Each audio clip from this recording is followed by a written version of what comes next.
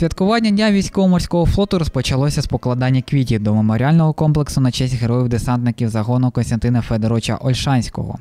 А далі процесія перемістилась на набережну річки Інгул. Там спустили вінки і поклали на воду запалені лампадки в пам'ять про загиблих моряків. Поздравляю николаевцев с этим знаменательным праздником, Днем военно-морских сил Украины.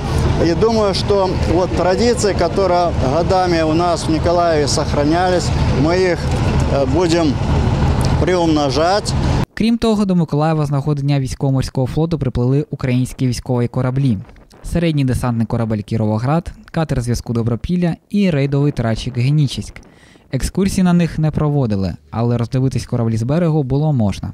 До речі, Кіровоград та Добропілля не вперше в Миколаєві. Свого часу вони знаходились на ремонті на Чорноморському суднобудівному заводі. Мы абсолютно убеждены в том, что жизнь и здравый смысл возьмут свое. Украина – это морская держава, и мы будем строить флот все равно. Не сегодня, так завтра.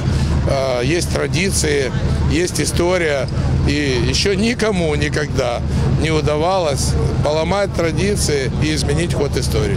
І хоча, незважаючи на те, що в Миколаєві не передбачалось особливих святкувань цього дня, все одно городяни прийшли на берег Інгулу, аби також взяти участь у поминальних заходах. Я горжусь, что у нас есть такие люди, которые способны работать э, в- вообще в военной промышленности и, в частности, естественно, на кораблях. Поэтому я поздравляю всех военных моряков с сегодняшним праздником. Желаю им, в первую очередь, мира, здоровья и спасибо им за то, что они охраняют наш покой. Ну, сейчас, да, может, какие-то паростки, может, что-то как-то на этом, что-то возродится, может быть.